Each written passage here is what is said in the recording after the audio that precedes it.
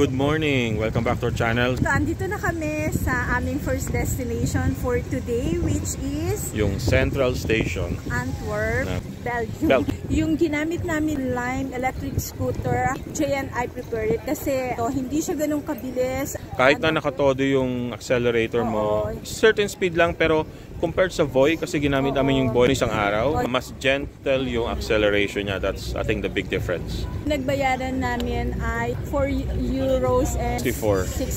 64. Sa nakita ko sa app is 1.2 kilometers. Oo. So, it's, it's not bad. 1.7. 1.7, oh, 1.7 daw.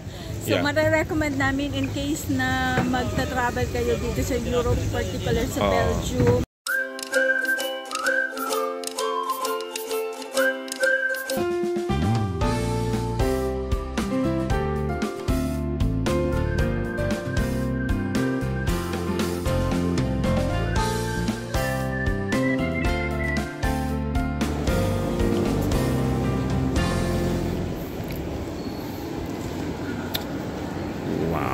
Look at that. Ang ganda.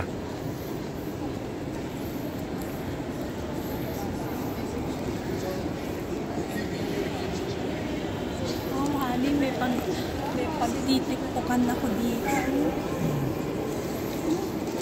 Ang ganda ng ganda ng place. Oh. Look at that. My God.